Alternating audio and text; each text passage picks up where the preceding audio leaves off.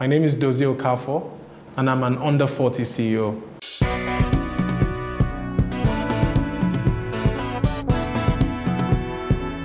African Renaissance. The concept that the African people and nation shall overcome the current challenges confronting the continent and achieve cultural, scientific, and economic renewal is here, with young men and women taking the lead. Some call them the new school heroes. We call them under 40 CEOs. As CEO, Dozie is recording immense success as he keeps his clients happy, and I believe he is well on his way to making sure that PHD is one of the most desirable places to work in in Nigeria. The look of fulfillment on the faces of staff of PHD Media is definitely a testament to that. But how does he do it? What skills are necessary for a CEO to continually deliver on his mandate? So, what do recognitions, nods, accolades, what, what do they truly mean to you? I think everyone strives for um, a sense of accomplishment, I guess. Um, for me, it's really about ultimately delivering what I need to do for, first of all, for the business, ensuring that the goals I set for myself and for my business are met. Once those goals are met, every other thing follows through because the truth of the matter is if I grow a client's business, I am in turn growing my business mm-hmm. because their growth is linked to mine. If I'm able to grow this business, every single member of staff grows as well because I can remunerate better, I can, I can pay bonuses, I can promote, I can incentivize. And, and collectively, we all do better. Um, the staff are also happier, obviously. Mm. Um, so for me, those accolades and is really just a testament to the fact that if we are delivering those results, then we should get those recognition. If we're not getting those recognition, it's largely because we are not doing what we set out to do. Um, or maybe we are, but maybe we're not ambitious enough. You know, so it, it really is really like a barometer to measure how well you've traveled. That's mm. the way I see it. All right. So, as a man with a family, mm. um, would you say that work-life balance is a myth or it's achievable? Work-life balance is really creating time for my wife and creating time for the family. And, and they're not the same thing. So time with the wife, I deliberately make out time. Uh, every week, we spend some time, and then we plan an extended time away together. Then we also plan time for the family. And time for the family doesn't have to be some expensive um, day out. It could be at home. It could be some some place nearby. Um, but I think for me, quality time spent with the family, spent with the kids, looking through their homework, going to school, mm. attending events, um, their first day at school, be there to take them. You know, just find time, mm. quality time to spend with them. And I mm. think every family should be able to define what work-life balance means to them. This is Under 40 CEOs.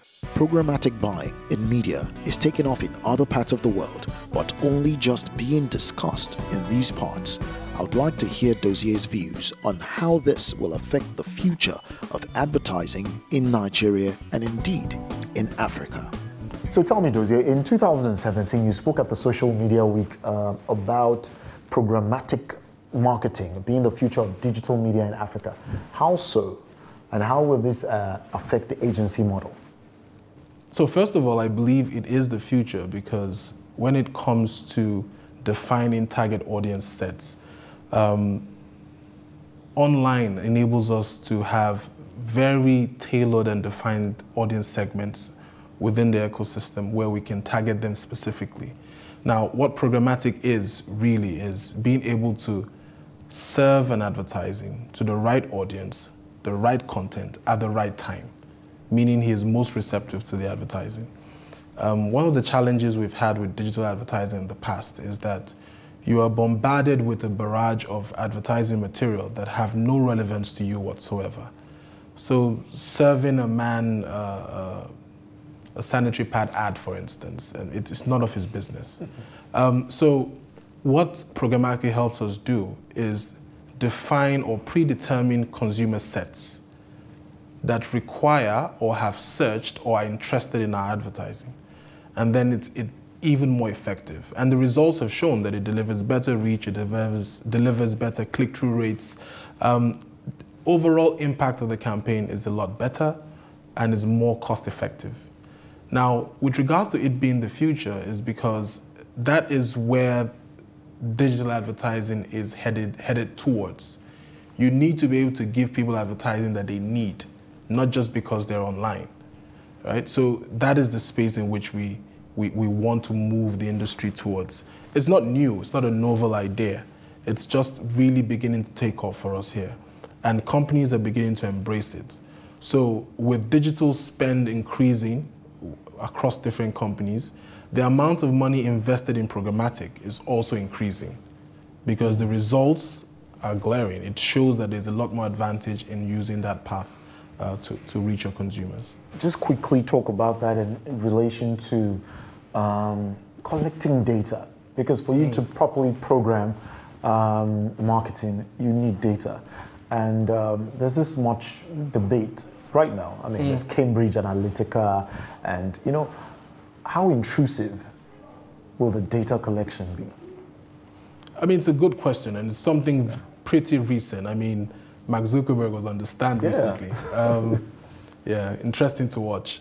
Mm-hmm. Um, it's important that people need to opt in for these data collection. I think what might have been happening in the past, I mean, I'm no authority on the matter, but um, the challenge will be people had not opted in and giving you permission to use their data in that fashion. Um, so I think it's very important that the data collection is based on actual consent given from the consumer to participate in any of these kind of inventory. If the client, if the consumer has not opted in for it, then his data shouldn't be used to that extent. Hmm. A publication described you as a thought leader, and you recently spoke at uh, Social Media Week on closing the gap between technology and humanity. Now, tell me, what's your favorite thing to talk about? Um, I love to speak about tech. Um, I love to speak about technology. I like to speak about um, advancement in IT, but more importantly, how it affects my uh, industry. Because with advancement in technology, so take for instance, um, social media, smartphone penetration increasing, the number of hours in a day remains the same. So what that says to me is that if you're spending more time on your phone, you're spending less time doing something else. Or at the very least, you're media meshing. So you're either watching TV and still using your phone. So how, what is the implication of that on my media planning? What is the implication on my strategy?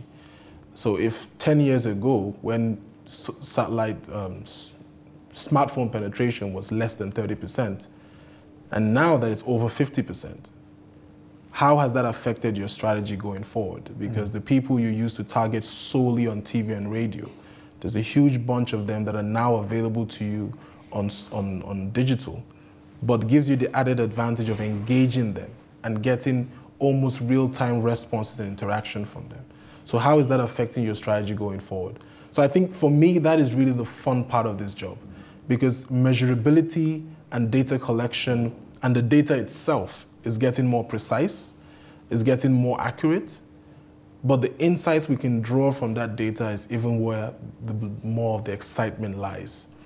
Because there's a lot of exciting work we're doing with people where we're saying, now we can really profile people, not just based on age, sex, and demographic, but based on their media usage because you could meet two middle-aged women and their media consumptions are very different.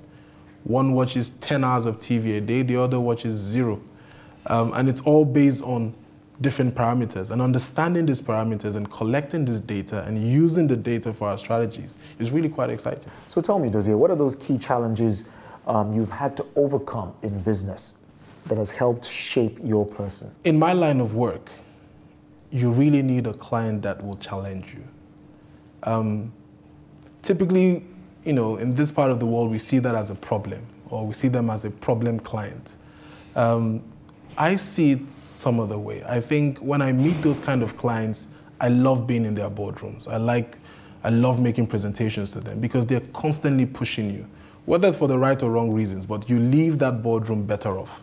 Mm. Um, I used to work for a client back in the day that would always question the strategy, would always pressure test every single slide. But what that did is that it made us a little bit more prepared every time we walked into that boardroom. So we do the pressure testing ourselves. After a while, we understood how the client thought and his thought process, and we developed a system that enables us to respond to every single element. But it made us research. Sometimes it made us travel. Sometimes it made us do surveys. It made us spend money. Mm. But then again, with every pitch, we got better. With every new business win, our strategies were more refined. So for me, those kind of clients are really very important to any agency. They help you grow. This is Under 40 CEOs. So tell me, how is travel and interacting with you know diverse cultures um, and people added value to your person? Exposure is important, mm. and I think it's probably one of the most important things uh, for any CEO in Africa. Um, one, you need to understand your continent, not just understanding your market. Because the bulk of the clients that require your services are thinking continent. They're not thinking Lagos. So you need to get yourself out of that mindset and think about the continent.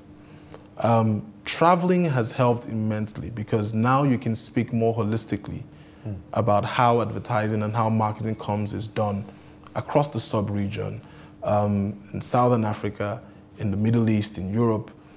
And then you have more and better well-rounded strategies that you can share with the clients.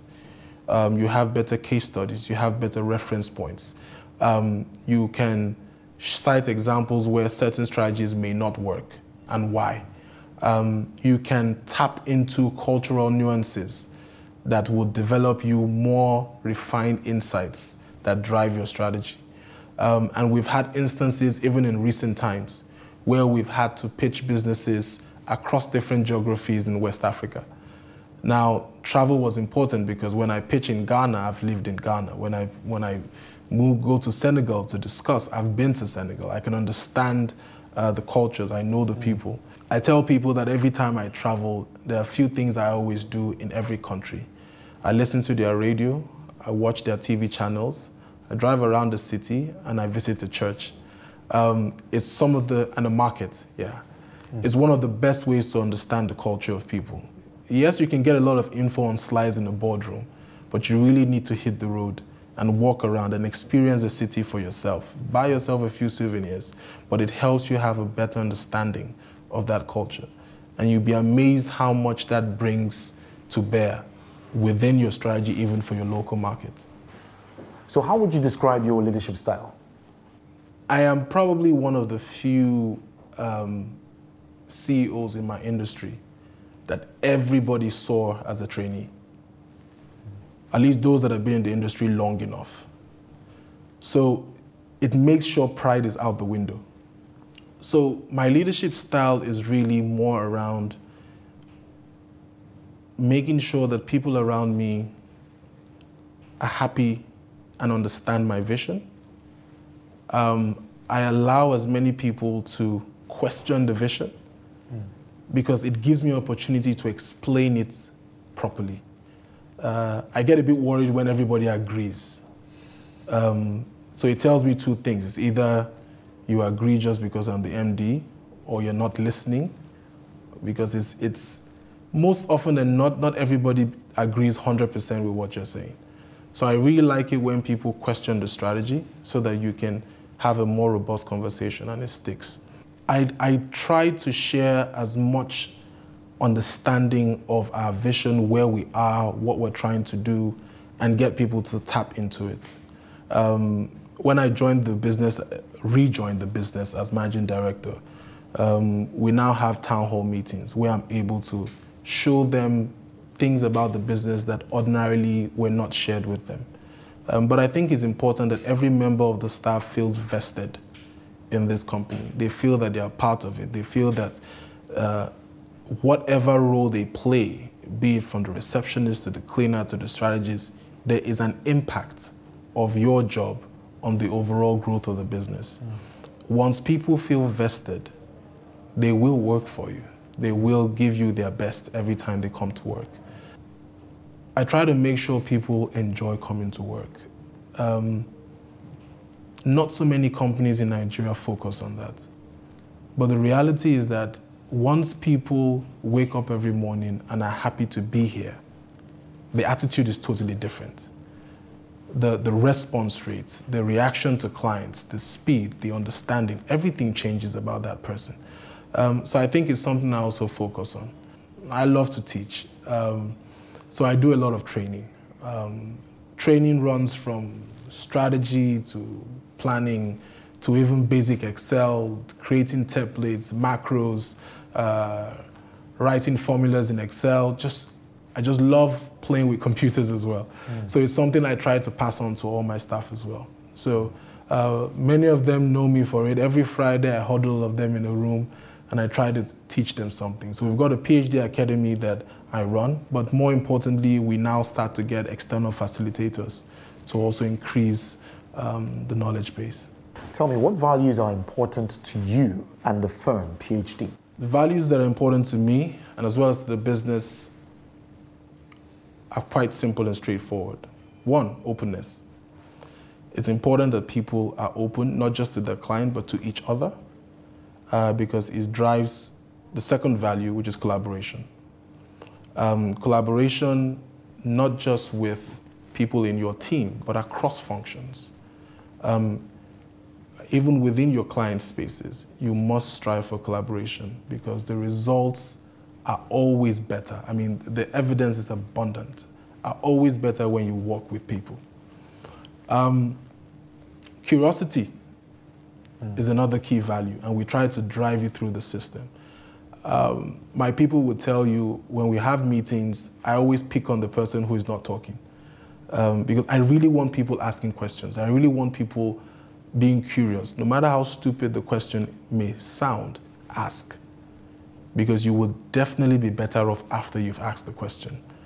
Um, another important value for me, I would say, is honesty and integrity. Um, if you say something, please do it. Um, and don't commit to anything you can't keep. Um, it's it's a running joke here. You know, I, when when people when I give an instruction and they tell me uh, we'll do it by the grace of God, I say no. Tell me whether you can do it or not, right? I would prefer you tell me it's not going to be ready today. It's going to be ready on Friday. I'd rather leave this conversation with that mindset. Don't set yourself up to fail just because you felt you had to say something um, to make people feel good. Um, but again, it, it can put you in difficult situations where you feel you must make a commitment, but you need that courage, which is also another value. Mm-hmm. Um, you need that courage to be able to look situations in the face and really explain why certain things have to be the way they are. Um, it may not give you the kind of reaction you want, but trust me, you'll always be better off when you're honest, mm. you have integrity, but you have the courage to also face all those situations. Mm. Um, so courage is important, okay. very important as well. So what would you say is the biggest letdown that you've experienced in your career so far? I wouldn't say there is one biggest letdown. But I think we've, within my career, I think there have been instances where things probably haven't gone as planned. Um, sometimes with regards to new business, um, sometimes with regards to um, career, um, where I felt I should be at a certain point in time that didn't pan out as, uh, as quickly mm. or as uh, to the scale that I would have wanted it to be.